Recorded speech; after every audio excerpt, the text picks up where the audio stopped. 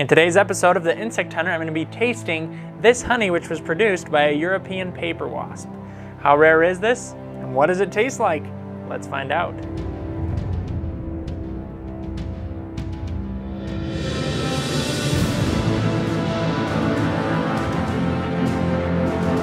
So first off, let me tell you how I found this and the story about it. So about a month or two ago when it just was starting to cool down in the fall, I was in my shed and I found a wasp's nest in there and I started looking at the nest itself and it was actually reflecting back at me and I thought that looks really odd.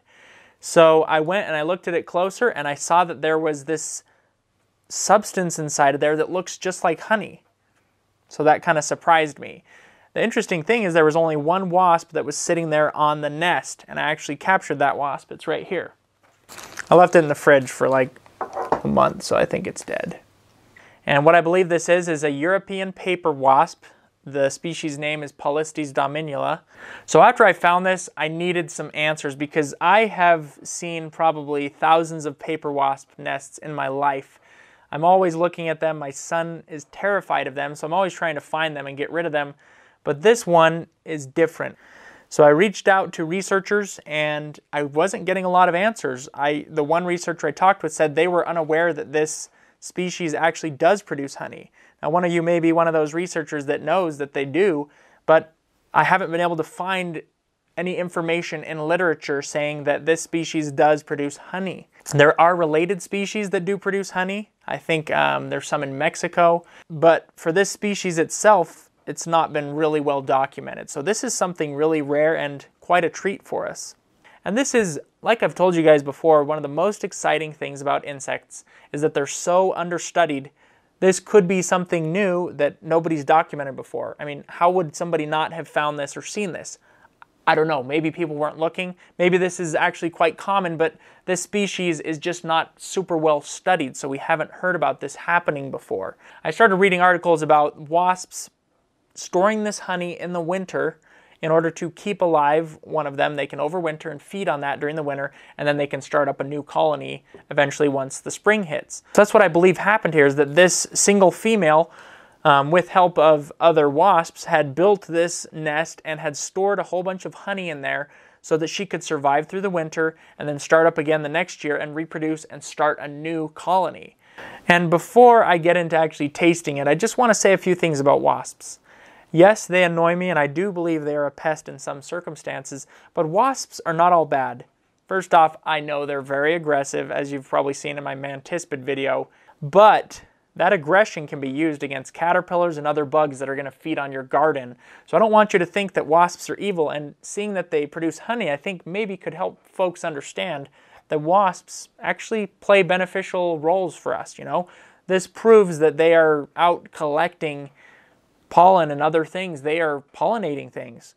They're helping and they're also out hunting other insects to feed to their babies. Before I do the taste test, I brought along some uh, honey here to kind of compare and see what they taste like one versus the other.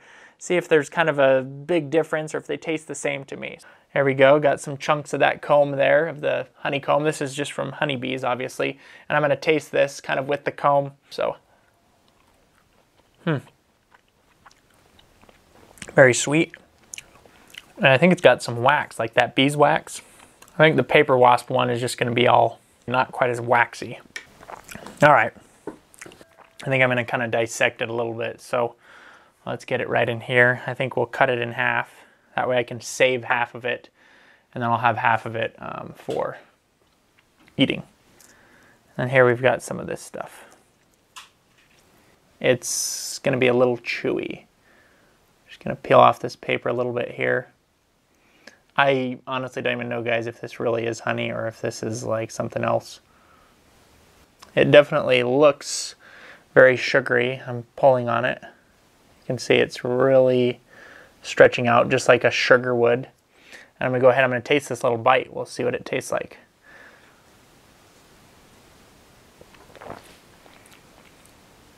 Hmm.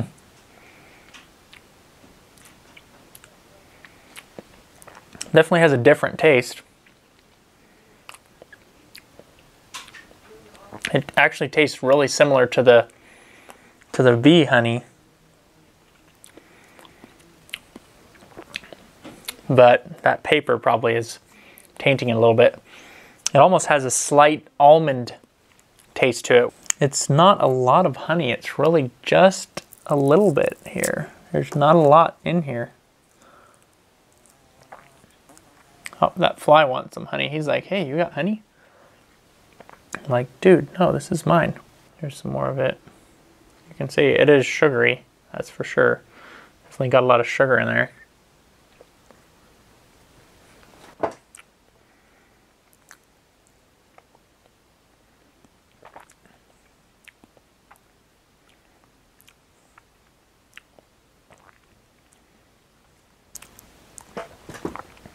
I honestly am surprised. It really does taste like almond. It's got just this slight amount of taste of almond, just like almond and sugar. Let me taste the bee honey again and see if I can tell the difference.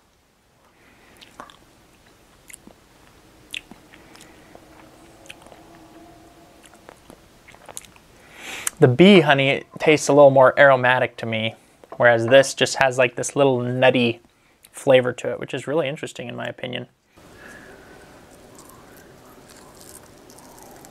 It's almost like toffee.